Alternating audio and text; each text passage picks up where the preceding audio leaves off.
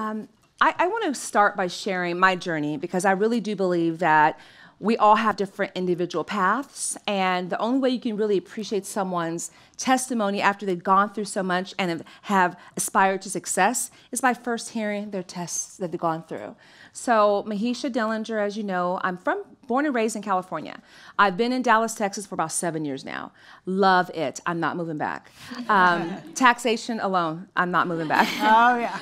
um, I'm from California, and I wasn't born in the beautiful sunny side California, palm, beach, palm trees, beaches, the Kardashians. I was on the other side of the tracks. I was born into a very impoverished neighborhood, community, family. Generational cycles of poverty persisted in my family. Most people did not finish high school, much less college. Most of my friends were pregnant by 15. Some of their brothers didn't make it to see 18. So seeing success wasn't really, I didn't see success at all. I didn't have the opportunity to model someone that can help me and change my life. But I determined early on that I was not going to live the same life. I determined and made my mind up that I was going to change my children's legacy and destiny. And that was ultimately through number one, entrepreneurship or education, but then also ultimately through entrepreneurship, which really changed my financial legacy. Um, able to be you know, independent, determine how far I go. Um, and I was a single young mother at an early age in the middle of college. My, I was pregnant, and my boyfriend left me at six months, and it was up to me to raise my daughter. That kept me going because I knew she single handedly gave me a purpose and a reason to live beyond where I was. So I kept going, finished college. My mom helped me and she babysat for me. Went on to Intel Corporation, had an amazing stint there, ran into some bumps, couldn't shatter the glass ceiling and other ceilings I ran into. And I decided to leave and strike out on my own. And I did that um, without a lot of money, despite having phenomenal personal credit. I could not get a business loan to save my life. So I used the money I had from Intel and started small. And the business was very small, e commerce based only initially. And then I started to reach out to other salons, and the distributors started to reach out to me. And then one day, Target called and said, We saw you and we like your brand. We saw you online. We like your brand and want to meet with you. And it was the easiest sell of my life. I've never had a meeting where I've gone into a room and sat down, and five minutes later was told, We'll take everything. But that chance, that one chance, because I had pitched many other retailers for many years before that, and I got no, no, no, no. That one chance with Linda Sullivan gave me my opportunity to show that I could do it. And so I went into Target, 105 stores on an end cap, premium location in the, real, in the retail store. They were told, they told us that if you do well, we'll continue to grow with you. And, and so we did. And we went nationwide. And in the meantime, other retailers started to call for my brand. And so I took my life from being an impoverished girl from the wrong side of the railroad tracks to a multi million dollar business owner. From hard work, determination, and just a sheer grit that came from showing my daughter and myself that we could be who we want to be. So now I'm a mother of four. That my daughter is was going to be here with me, but she's at one of my other kids' track meetings. 24, 14, 13, and 8 and I'm busy. and so I wanted to share that because this room is beautiful. I didn't expect so much diversity. I really didn't. But it's such a great room of different women, different walks of life, and I just want to share my journey in hopes of sharing and inspiring someone else in the room. And so now we want to continue with these beautiful ladies, and I'm so honored to be here with you guys. We have such an amazing set of inspiring ladies and different backgrounds. And I want to start by asking a few questions and let's get right into it and have a good time. This is for gay, question for gay. This discussion is about setting precedent and creating new norms. Tell us why you did things differently. Well, I grew up in a small town in East Texas, and I didn't know that I couldn't do something because mm. I was a little, you know, a big fish in a small pond. But I'm going to tell you, you're a cowgirl. And the reason is cowgirls take responsibility for themselves. Mm. And I learned that early on that if I was who I was, I could do anything I wanted to do. And there were all kinds of barriers, and I, I, I can tell you hundreds of them uh, that I've gone through through the years. But I really believe, and the reason I wrote the book, and you, I gave you a copy of all of it, of the paperback, uh, is that I want women to quit beating themselves up mm. for hmm. things we think we're not doing well. You are doing just fine. And once you gain that power and confidence inside yourself, do whatever you want. I mean, you know, you'd be surprised. Like these young ladies, look what they've done.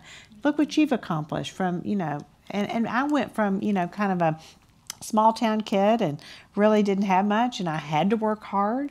Uh, because there was no options really, mm-hmm. and uh, so that I think that's the thing that I hope to instill in people is that you can do what you want to do. It's all inside you, and we can't wait for everyone else to change the world.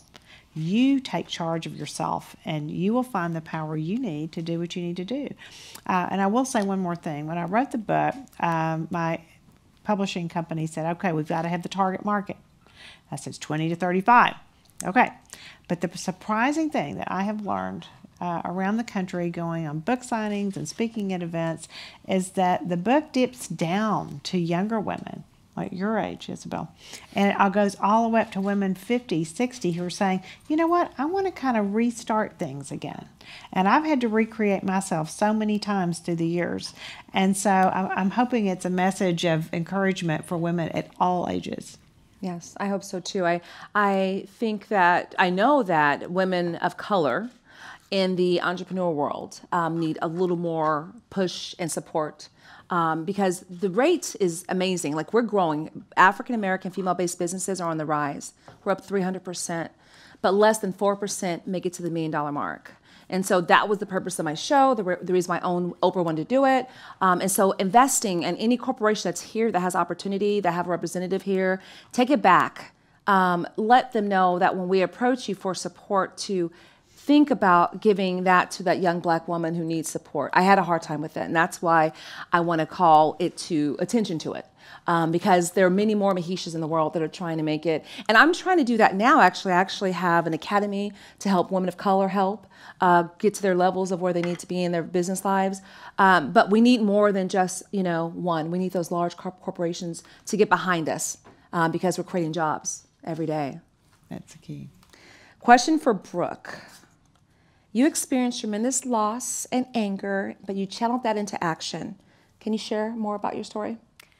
Absolutely. Um, when I was 15 years old, I ended up being thrown into politics, quite honestly, being thrown into having to be a voice for a community that wasn't getting a voice. So when I was 15, a good friend of mine was murdered uh, at the hands of two other students that we went to school with. Oh. It was very controversial. We had a lot of people in the community who were divided between how they felt about it and what they wanted to do about it. I had a lot of unbridled passions. I was full of anger, and I felt like I, if I wasn't so angry, I wouldn't have found my passion in life, which is to make policy change in this world. I actually wanted to be a dentist growing up all of my life, and wow. you know, I pass out when I see blood, so that kind of worked out really Not quickly. so I'm I'm almost honored to have known Nahum and um, was able to be put into this position to make change. So I utilize all of my passion and I began talking with my parents. My parents actually told me that I should work on legislation that would prevent this situation from happening to anyone else. That if I mm-hmm. cared so much about Nahum, I would use his story to make sure that this never happened again and no one had to go what I had to go through or his family or our community. So I ended up working with a local congresswoman to draft a bill that was a gun violence prevention bill. Um, it didn't end up getting passed through myself. Another legislator actually passed it, but that kind of sparked my interest in speaking up for my community, especially sparking my interest in the Latinx community. So, as a Latina, I felt like I needed to speak up for Nahum, who belonged to the Hispanic community. I felt like our community, which was predominantly not Hispanic, was mm. kind of sweeping what had happened under the rug. And I wanted it to be known. I wanted his life to be celebrated. And I feel like I I was able to make an impact for the Hispanic community, hopefully where I grew up. Absolutely. You definitely did. Tell us a little more. I'm curious about the friend and how he was killed. What happened? He was actually um, killed at a sleepover a couple streets down from my house. Um, he was mm. killed over a dispute over a girl. And out of the 150 years that my hometown was has existed, we've only had three murders. Mm. Two of them happened while I was in high school and were students that I went to school with. One of them being Nahum. So this was something that I definitely wanted to make sure never happened again, especially in my own community, which was so small and had already faced three tragic deaths. Right. Thank you. Another question for you. I read that while you were growing up, that you were always active in lively conversation discussions around politics with your family. Yet you never voted to run for office. What do you think? Wait, this says, well, actually, I'm sorry. It says um, you, yet you never knew how they voted until you ran into off, ran for office. So you never understood the voting process until you ran for office. Right. Okay. So what do you think this was? So my parents decided to never let me know what their party affiliation was growing up.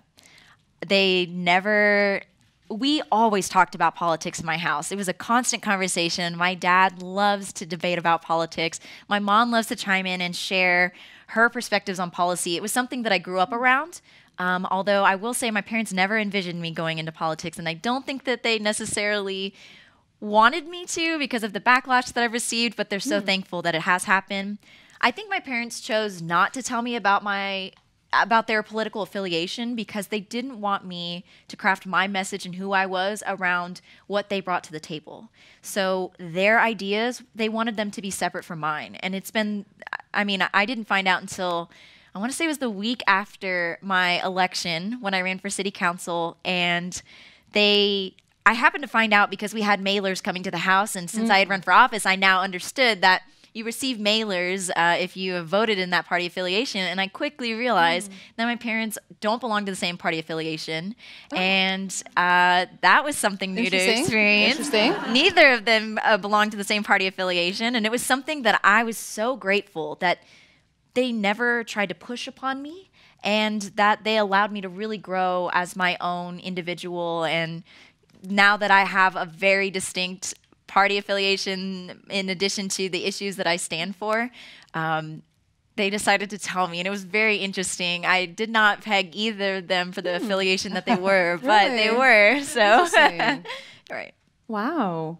Gay, another question for you. You come from a long line of cowgirls. What are the lessons that they've passed on to you that still apply today? Well, one can only go to the Cowgirl Museum in Fort Worth and walk those halls and read the words on the walls. And it's the ingraining of authenticity, being fearless, being confident, being competitive. And these women were such superstars, the hmm. ones I write about back, and, and they're not the whole thing in the book. The book is really about my story of starting a business from the ground up with literally nothing but a $16,000 IRA. I mean, it was how bad it was in the late 80s. Uh, but I've gained strength from women I knew who were just everyday farm ranch people growing up, and they instilled in me their values. And uh, we we worked with horses a lot, and there's a relationship a lot of times bet- between a young girl and a horse that's pretty hard. If anyone's ever had a relationship with a horse, you know what I'm talking about. But you learn to take criticism. And that's something that I really fear right now, especially in this Me Too movement time, that we're going to not get the feedback we need. Because when you're on horseback, if someone tells you you're not tying the slip knot right, you better listen because you're putting you and the horse in danger. And those are the kind of things that I grew up with. It wasn't like people were criticizing me as a person. They were telling me to do something this way or do it right because this is the way it's done. And so I, I really hope that we can all work together as men and women and not lose that ability to be candid and authentic with each other and take the feedback that we need to become better because that's how we grow and that's how we learn is when we can take that if it's positive criticism we need to mm-hmm. take it and do something with it. So i learned that from the cowgirls and from the people in my life and i've tried to put that in the book. But one thing that i, I really hope everybody kind of thinks about is you're in charge of everything you know now you can become extremely expert or competent in anything you want to do. It's up to you. And uh, I have so many examples of people that work at T3 and different ones who have raised their hands and just jumped out and said, I'm going to become an expert in AI or this or that. And so there's nothing holding you back. And so I just say, go out there and be passionate about whatever it is. And if you don't even feel passionate about something right now, just poke around and it'll come to you. And and you can be an expert at anything. You really can. And then once you do that, you become more confident and then you become a more competent person. And then at that point, my little model says that you then can become very assertive because you know what you know. Hmm. And no one can take that away from you because you earned it yourself. So those are the things I learned from these cowgirls and I've kind of it's a metaphor in many ways for my life you know, this book isn't all about just being a cowgirl and riding horses. It's the metaphor of how we take those lessons and use them in our lives today. Great analogies and lessons. And that's going to lead me to my next question, timely. What are one or two lessons from your book that you want to share um, with everyone in the How room? How much Prosecco have you all had tonight? Not enough. Not enough. Uh, well, I want to say there's two.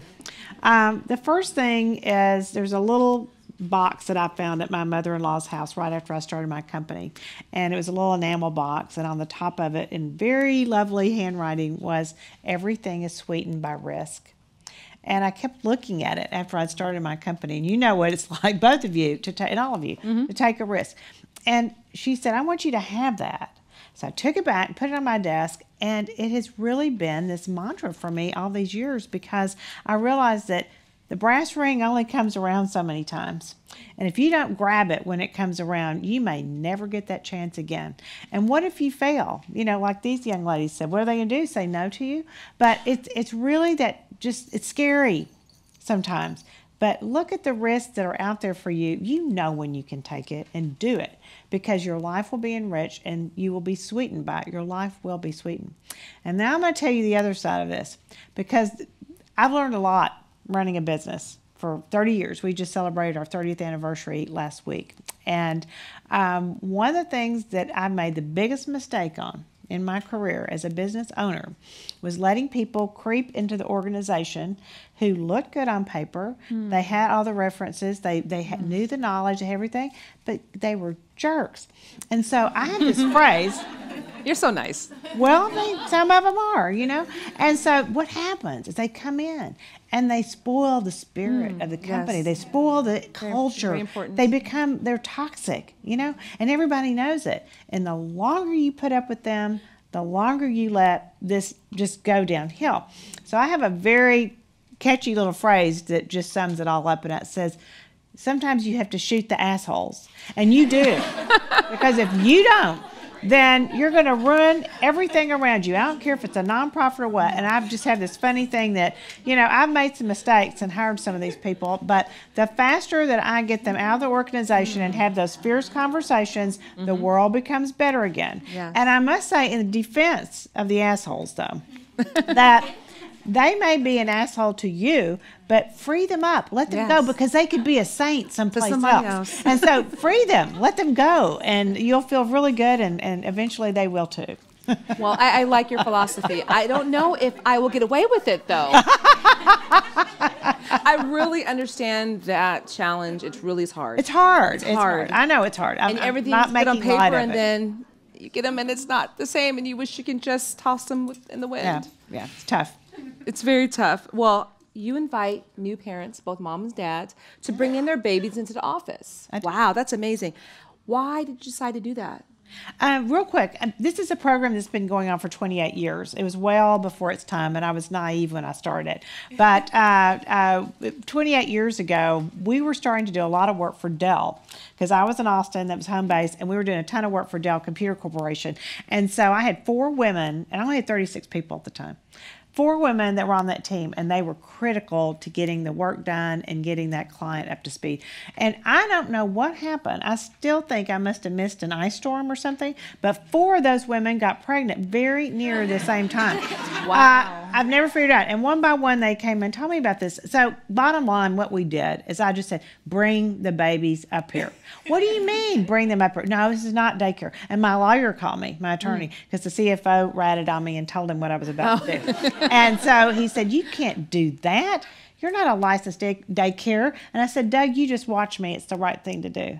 So we did it. And through the years, we've modified and done these things. But to this date now, we've had over 100 little children that have grown up at our office mm. until they're six to nine months. Mm. And dads have brought in the babies too. It's a big family. It's part of who we are. And dogs come up there now too oh. because a lot of people said dogs are like my children. Well, that's fine. Bring them too.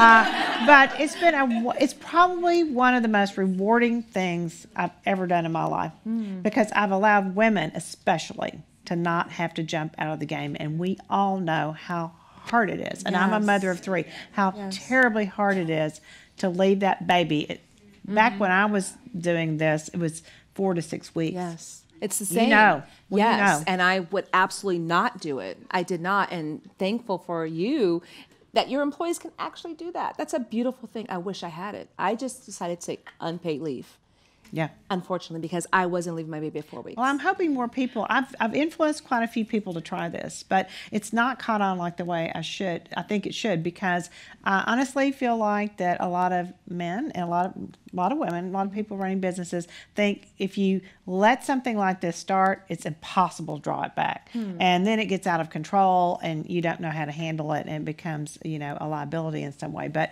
for us, it's part of our culture. It's who we are. We help bring up these children, and I've watched them grow up. And last thing on this is a couple of years ago. Oh, I'm out of time, I think. But anyway, a couple of years ago, uh, I had two interns come in, and guess who they were? The first two T300 kids. no way. I love it. I didn't know about. They surprised me. So anyway. Question for Brooke. And we all want to know what was running for office at 18 like? amazing. Well, I um, I mistakenly had grown up in a little bit of a bubble. I thought for some reason that if I jumped in there at 18, I had already been drafting these bills. I had a lot of support from my community going into the bills and then the nonprofit that I started back then and people were really enjoying what I was bringing to the table. So I was like, take it one step further. I have a lot of issues that I've I am very passionate about that happened to be local level issues at the time. And so I just decided, you know what, I'll run for city council. You get paid $400 a month. I didn't have to have a part time job in college. I was thinking, you know, I was a freshman in college when I chose to run, and I was like, hmm. these things are going to be, this is going to work out perfect. This will be my extracurricular activity. Extracurricular. Uh, yeah, I was like, yeah, you know, I'll just make policy in the nighttime, go to school in the daytime. That's what I'm going to do. I realized very quickly that the actual journey into campaigning was a lot tougher than I thought it was going to be. Um, my, I, I mean, honestly, I was criticized for being a Latina. I was criticized for being a woman, regardless of my Hispanic identity. I was criticized for my looks. Somebody told me that I would be using my body for votes. Um, I had gossip articles written about me, online campaigns. That was another story, being that I went to high school in this community. So everybody who was anybody at that time was saying something terrible about me on uh, social media.